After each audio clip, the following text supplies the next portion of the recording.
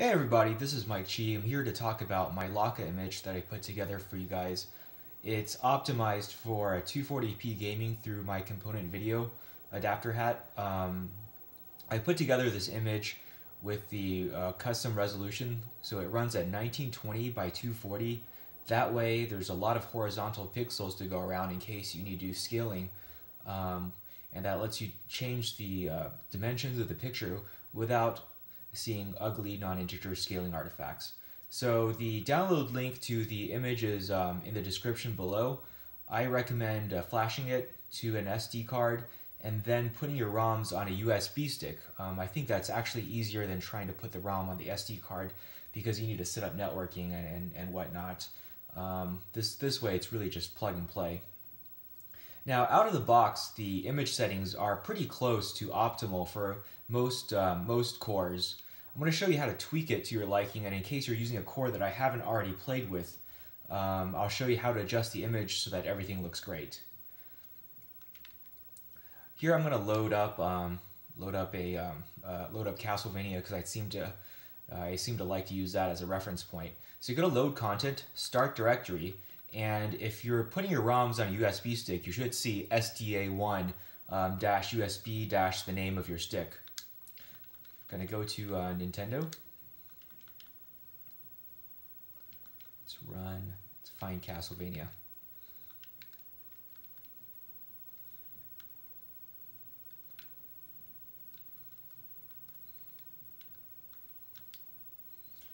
To use Nestopia as the core. So again, um, out of the box, the settings are pretty good. Um, it fills up the entire width, width of the screen and um, it's, it, it's a good starting point.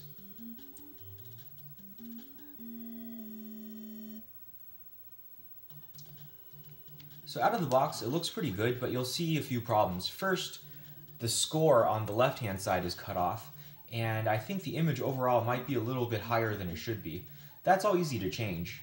In the pre-made image I made for you guys, pressing start and select at the same time brings you uh, brings you to the menu. So go to go back up one um, by pressing the B button and go to settings, video, and um, and the, the settings you really want to change are custom ratio X, Y, width, and height. If you watched my previous RetroPie video, um, this might be familiar to you. So the first problem let's try to get rid of is the fact that it's, it's too wide. So I'm going to scale this back a little bit. Scale back, scale back. So now you can see that green border. Now I'm going to change the X position so that it's shifted to the right a little bit. I'm looking at the score and now the entire score is visible. Should probably trim a little bit more. Um, of course, you'll need to adjust this for your TV to your liking. The, um, the most important setting here is that custom aspect height is 240, uh, where it says 1x. Now, depending on the core and how it handles overscan, this will probably be 240 or 224, um, depending on different cores and di different games. The most important thing is that you set the width, uh, the you set the height so that the number 1x appears. This means that there's no non-integer scaling in the y direction. That's really important because if you combine non-integer height scaling with the scan lines of your CRT, that's really ugly. So, yep. So again, as soon as it's in the uh, right number, you'll see the 1x uh, appear next to it. And again, depending on the on the core, this number might be different, might be 224 in a lot of cases. So I've adjusted that, and let's go back. Now everything looks pretty good. Um, score, you can see the full text score, and uh, nothing is cut off. It's still a little bit high, um, so I'll go back. Go back to settings, video, and you can adjust the X position a little bit um, to lower that, or raise it, depending on TV. Again, all up to you. Um, make it so that it looks nice for your setup. Now the cool thing about running at 1920 by 240 is that you really can't see non-integer scaling artifacts. I think this is running at 1850 by 9. Uh, the the width of the uh, width of the uh, screen is now 1850, which obviously doesn't divide into the 256 width of the NES. But again, because there's so many pixels, you don't see the artifacts.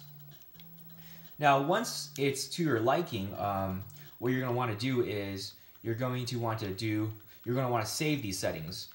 Lakka can save different core settings for each um, for each of the cores, and what you're going to want to do is go to the menu and select Save Core Overrides. So I've selected this.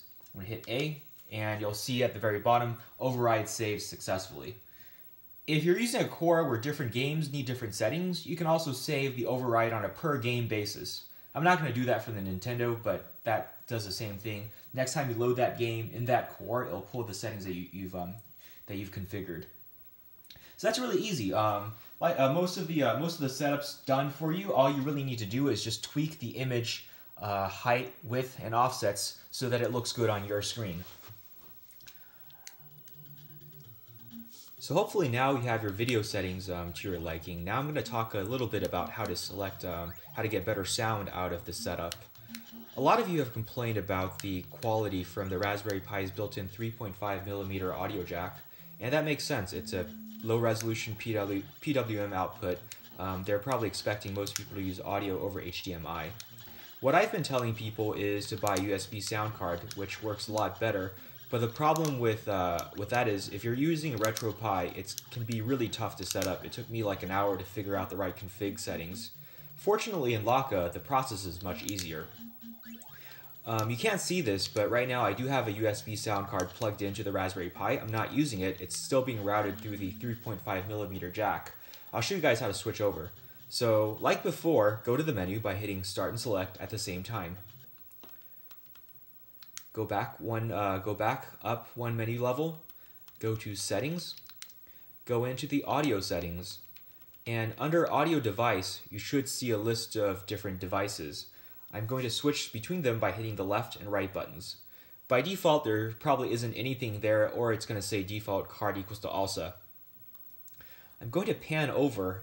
Um, there are a lot of settings, so it's kind of confusing, but I think the right ones is just go to um, each these each of these different devices and until you find someone that says until you find the first one that says card um, equals to whatever the name of the device you're using and most importantly comma dev equal to zero that's the card you want to use so I've selected this and go back up go back up go back uh, go back out I'm going to go back into the quick menu and I'm going to save the core overrides because now I have a different sound card selected you'll see override saved successfully. Now I'm going to switch um, to a different game. I'm going to switch, uh, let's just run Super Mario 2 because that causes the core to, uh, core to reboot, which then reinitializes the sound system. You'll hear that uh, it's now coming out of my USB headphones. Not, it's, it should sound very differently.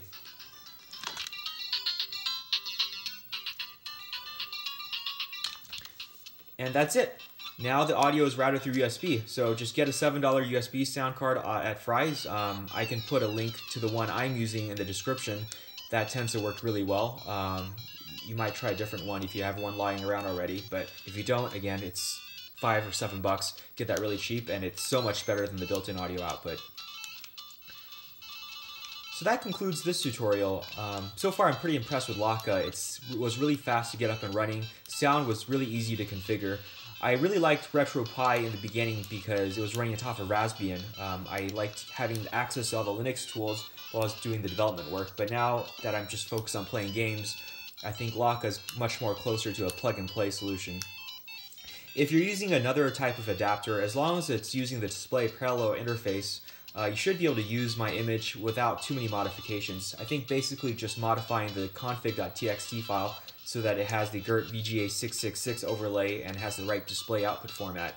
Um, hopefully if you're on this adapter or my adapter, this, um, this pre-made image will help you get up and running quickly.